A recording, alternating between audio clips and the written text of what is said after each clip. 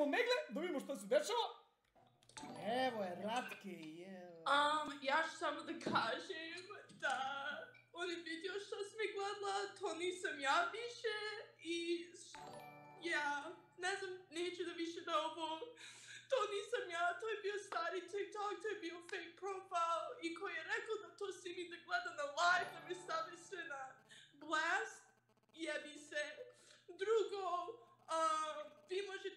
šta hoće ti za meni za te stvari, a bila sam mlada i tako sam, na, bila sam smotana ja, to sam se te stvari rala, a nisam tako više, 100% nisam tako djevojka i koji je napravio profile fuck you isto.